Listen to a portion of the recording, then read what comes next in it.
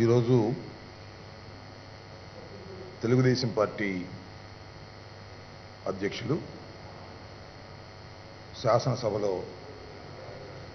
ప్రధాన ప్రతిపక్ష నాయకులు అయినటువంటి నారా చంద్రబాబు నాయుడు గారు నారా చంద్రబాబు నాయుడు గారు ప్రజా చైతన్య యాత్ర పేరుతో ఒక యాత్రను ప్రారంభించారు. దీన్ని ప్రకాశం జిల్లా మారుటూరు నుంచి ప్రారంభిస్తూ ఆయన సుమారుగా ఒక నలభై యాభై నిమిషాల పాటు ఒక సుదీర్ఘమైనటువంటి ఉపన్యాసాన్ని ఆ యాత్ర సందర్భంగా ఇచ్చారు. ప్రజా చైతన్య యాత్ర పేరు మీదుగా జరుగుతున్నటువంటి ఈ యాత్ర ఈరోజు ప్రారంభించారట. మళ్ళా ఒక వారం రోజుల పాటు సెలవు తీసుకుంటారట. మళ్ళా వారం రోజుల తర్వాత మళ్ళా మాట్లాడతారట. ప్రజాయాత్ర కొనసాగిస్తారట. నేను ఈ సందర్భంగా చంద్రబాబు నాయుడు గారిని తెలుగుదేశం పార్టీని ఒకటి అడగదలుచుకున్నాను.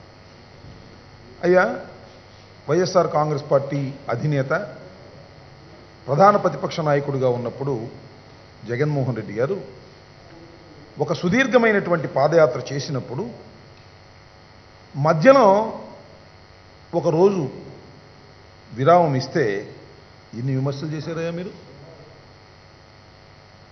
మూడు వేల ఆరు వందల నలభై ఎనిమిది కిలోమీటర్లు వాననక చలనక ఎండనక సుదీర్ఘమైన పాదయాత్ర చేసినటువంటి ఆనాటి ప్రధాన ప్రతిపక్ష నాయకుల మీద చంద్రబాబు నాయుడు గారి బృందం మంత్రులు అందరూ వచ్చి ఏమేమి విమర్శలు చేశారు? ఒకసారి మర్చిపోయారా? ఇవాళ ప్రజా చైతన్య యాత్రని ప్రారంభించి మాతూరులో ఒక ఉపన్యాసం చెప్పి చక్కగా ఇంటికి సర్దుకున్నారు. దీన్ని ఏమనాలి? సరే మీ ఇష్టం. మాకేం అభ్యంతరం లేదు. ప్రజా చైతన్య యాత్ర నెలకు ఒకసారి చేయండి. లేదా సంవత్సరానికి ఒకసారి చేయండి మాకేం అభ్యంతరం లేదు. కానీ చంద్రబాబు నాయుడు గారు ఒక మాట మాట్లాడారు. వైఎస్ఆర్ కాంగ్రెస్ పార్టీ అధికారంలోకి వచ్చిన తర్వాత అందరి మీద దాడులు చేస్తున్నారట కేసులు పెడుతున్నారట హెర్రాస్ చేస్తున్నారట. నేను ముఖ్యమంత్రిగా ఉన్నప్పుడు అంటే ఆయన ముఖ్యమంత్రిగా ఉన్నప్పుడు వైఎస్ రాజశేఖర రెడ్డి గారు పాదయాత్ర చేశారు జగన్మోహన్ రెడ్డి గారు పాదయాత్ర చేశారు నేను ఎవరిని హెరాస్ చేయలేదు ఎవరి మీద కేసులు పెట్టలేదు వారు పాదయాత్ర చేస్తే నేను ఎలవ్ చేశాను అని మాట్లాడారు. మేమేదో వారి పా వారి యాత్రకు అడ్డం వస్తున్నట్టు. ఎవరు అడ్డం వచ్చానని అడుగుతా ఉన్నా. ఈ రోజున తెనాల్లో మీరు బహిరంగ సభ చెప్పినా పెట్టినా అలవ్ చేయటం జరిగింది. ఇవాళ మీరు ప్రజా చైతన్య యాత్ర పేరు మీద మీరు ఇష్టం వచ్చినట్టు మాట్లాడుతున్నా కూడా ప్రజాస్వామ్యంలో మీకు మాట్లాడే హక్కు ఉంది కాబట్టి మేము అలవ్ చేస్తున్నాం. మా ప్రభుత్వం ఏం వ్యతిరేకంగా లేదే దానికి? కానీ ఏదో వ్యతిరేకంగా ఉన్నట్టుగా మీరు మాట్లాడుతున్నారు నేను తెలియకడుగుతానండి ఇందాక మీరు ప్రజా చైతన్య యాత్రలో మార్టూర్లో రోడ్డు మీద నిలబడి ట్రాఫిక్ని అంతా కూడా జామ్ చేసి జనమేం పెద్దగా లేరు. అక్కడ కార్లును ఆ పక్కన ఉన్నటువంటి జనం అంతా మూగి చూస్తున్నారు. ఒక గ్రానైట్ కార్మికుడు యాక్సిడెంట్ అయ్యి ప్రమాదంలో ఉంటే వన్ నాట్ ఎయిట్లో తీసుకువెళ్తుంటే మరికి దోవ ఇవ్వలేకపోయారే? ఎందుకు ఇవ్వలేకపోయారు? ఏమి సంస్కారం అది? ప్రాణాలు పోయే పరిస్థితి కదండి. ఎంత బహిరంగ సభ జరుగుతున్నా ఎంత గొప్ప బహిరంగ సభ అయినా నేను ఈ సందర్భంగా ఒక విషయాన్ని గుర్తు చేయదలుచుకున్నా. జగన్మోహన్ రెడ్డి గారు నేడు ముఖ్యమంత్రిగా ఉన్నటువంటి జగన్మోహన్ రెడ్డి గారు ప్రజా సంకల్ప యాత్రలో అనేక చోట్ల ఇలాగే ట్రాఫిక్ స్తంభించినప్పుడు వన్ నాట్ ఎయిట్ వ్యాన్లు వచ్చి క్వీమ్ అంటే తప్పుకోండి సోదరులారా అన్నలారా దానికి దావివ్వండి అని చెప్పినటువంటి వ్యక్తి జగన్మోహన్ రెడ్డి గారు. ఆయన గురించి మీరేం మాట్లాడతారండి? మానవతా దృక్పథంతో పనిచేసేటటువంటి కుటుంబం వైఎస్ రాజశేఖర రెడ్డి గారి కుటుంబం జగన్మోహన్ రెడ్డి గారి కుటుంబం. మీరు మనుషుల్ని చంపేటటువంటి కుటుంబం అనేది. మీ మావకే వెన్నుపోటు పొడిచి కర్కశంగా చంపినటువంటి వ్యక్తివి పదవి కోసం ఎన్ని ప్రాణాలు పోయినా కూడా లెక్క చేసే స్వభావం కలిగినటువంటి వ్యక్తి కాదు మీరు. అందువల్ల వీళ్ళు మీరు ఇవాళ ఆ గ్రానైట్ యాక్సిడెంట్ అయ్యి ఒక కార్మికుడు చావు బతుకుల మీద మధ్యనుంటే వన్ నాట్ ఎయిట్కి మీరు దోవ ఇవ్వలేనటువంటి ఒక విష సంస్కృతితో బతుకుతున్న మీరు మమ్మల్ని దూషించే అర్హత ఉందా అని అడుగుతా ఉన్నా. మీరు మాట్లాడారు. ఏం మాట్లాడారు? ఇవాళ ఉపన్యాసం అంతా ఒకటే దూషణ. తొమ్మిది మాసాలు ఈ రాష్ట్రాన్ని పరిపాలిస్తున్నటువంటి ముఖ్యమంత్రి. తొమ్మిది మాసాల నుంచి పరిపాలిస్తున్నటువంటి ముఖ్యమంత్రి యొక్క విధానాన్ని గురించి ఇష్టం వచ్చినట్టు మాట్లాడారు. దున్నపోతులు అన్నారు దున్నలు అన్నారు ఎద్దులు అన్నారు ముక్కుతాడేస్తామన్నారు అంతేకాకుండా ఇది ఒక నీచమైన పాలన అన్నారు. తోకలు కత్తిరిస్తామన్నారు. ఎవరు తోకలు ఎవరు కత్తిరించారు చంద్రబాబు నాయుడు గారు? మర్చిపోయారా? తొమ్మిది మాసాల క్రితం ఎన్నికలు జరిగితే నీ తోక మీ అబ్బాయి తోక తెలుగుదేశం తోక కూడా ప్రజా చైతన్యంతో కత్తిరించారు. ఇంక నువ్వు వాళ్ళని ప్రజా చైతన్యం చేయాల్సిన అవసరం అవసరం లేదు. వాళ్ళు ఆల్రెడీ చైతన్యవంతమైన ప్రజలు ఈ రాష్ట్రంలో పదమూడు జిల్లాల్లో ఉన్నారు.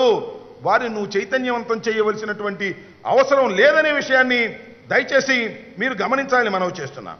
ఈ విధంగా చంద్రబాబు నాయుడు గారు మాట్లాడుతూ అనేక మాటలు మాట్లాడారు. ఆయన నీతి నిజాయితీ గురించి మాట్లాడారు. చాలా నీతిమంతుడట నిజాయితీపరుడట నేనేదో మాట్లాడతాడు అనుకున్నా నేను ఆరో తారీఖు నుంచి పదో తారీఖు దాకా సో సోదాలు జరిగాయి. వారి పర్సనల్ సెక్రటరీ మీద మాజీ పర్సనల్ సెక్రటరీ మీద. అలాగే ఆయనకి చాలా అనుంగు శిష్యులుగా ఉన్నటువంటి వారి మీద.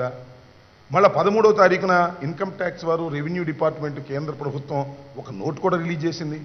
ఆ రోజు నుంచి ఈ రోజు వరకు మీడియాకు దొరకకుండా తప్పు తిరుగుతున్నాడు బాబు కొడుకులు ఇద్దరును సరే ఇవాళైనా ఏమైనా మాట్లాడతారేమో? ఇవాళ బహిరంగ సభలు ఏమన్నా దాని గురించి వివరణ చేస్తాడేమో అనుకున్నా. అదేం మాట్లాడలా. ఒక మాట మాత్రం మాట్లాడాడు. ఎతుకుతున్నారు నా గురించి ఎతుకుతున్నారు. కొండందో వెలికిని పట్టారు. ఎలికిని కూడా పట్టలేదంట. ఎలికి తోక చివర బొచ్చును పట్టారట. పడతారు నాయన తొందరపడమాక. చాలాసార్లు ఈ మాట ఎలిక ఎలికి తోక ఎలికి తోకలో బొచ్చు అంటున్నారు. అయ్యా నేను అడుగుతా ఉన్నా.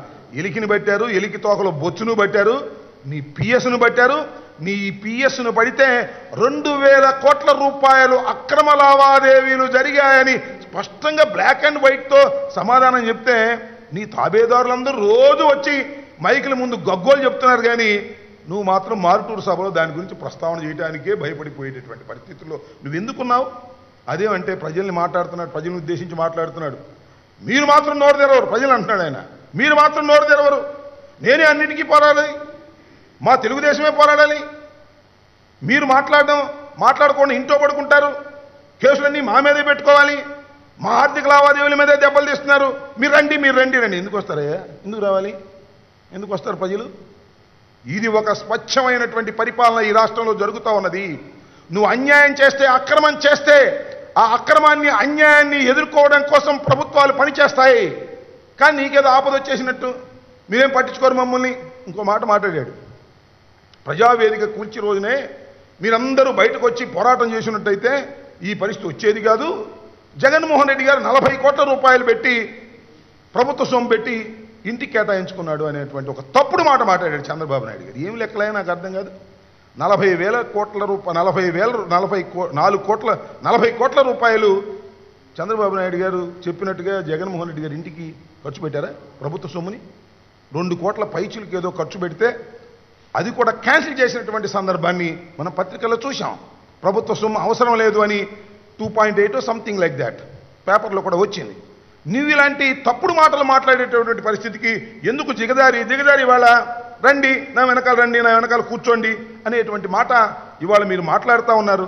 అసలు మీరు నాకు అర్థం కాదు ఏంటంటే చంద్రబాబు నాయుడు గారి పరిస్థితి ఎలా తయారైందంటే వయసు పెరిగిపోయేటప్పటికి వాళ్ళ అబ్బాయి రాజకీయాల్లోకి వచ్చేసరికి ఏమైపోయాడంటే చేపైన నీళ్ళలోంచి బయటకు తీస్తే బ్రతుకుతుంది కానీ పాపం చంద్రబాబు నాయుడు గారు అధికారం లేకపోతే బతికే పరిస్థితిలో లేడు ఇవాళ. గగ్గోలు పెట్టి తిరుగుతూ ఉన్నాడు. అధికారం లేపో లేకపోయేసరికి గగ్గోలు పెట్టి తిరుగుతూ ఉన్నాడు. అదేమంటే చాలా విచిత్రమైన లెక్క చెప్తున్నారు. పెన్షన్ ఇవ్వలేదని ఒక మహిళ గుండెకి చనిపోయిందట. ఏమిటి అన్యాయం? నాకు అర్థం కాలేదు. నేను ఒకటే మనవి చేస్తున్నా. ఈ రాష్ట్రంలో అర్హులైనటువంటి ప్రతి వారికి పెన్షన్ ఇచ్చి తీరుతాం. దానిలో ఏ విధమైన సందేహం లేదు. ఎక్కడ చిన్న చిన్న పొరపాట్లు లెక్కలో జరిగితే అవన్నీ సరిచేయమని రాష్ట్ర ముఖ్యమంత్రి జగన్మోహన్ రెడ్డి గారు ఆదేశాలు కూడా ఇచ్చారని మనం చేస్తున్నా. అది ఏ పార్టీ వారైనా సరే అది తెలుగుదేశం కావచ్చు జనసేన కావచ్చు కమ్యూనిస్ట్ పార్టీ వారు కావచ్చు ఎవరైనా సరే అర్హులైనటువంటి వృద్ధులకు కానీ వికలాంగులకు కానీ ఎవరికి పెన్షన్ అర్హులైతే వారందరికీ ఇవ్వాలనేటువంటి సత్సంకల్పంతో జగన్మోహన్ రెడ్డి గారి ప్రభుత్వం పనిచేస్తూ ఉంది. మీరు అలా పని చేయలేదు మనవి చేస్తున్నా. మీరు సైకిల్ గుర్తుకు ఓటేసిన వాళ్ళకే ఇచ్చారు. ఇవాళ చాలా చిత్రమైన విషయం ఏంటంటే చంద్రబాబు నాయుడు గారికి పాపం పచ్చ మీడియా ఒకటి బయలుదేరిన ఆయనకి సన్నిహితంగా ఉండేటువంటి వారు.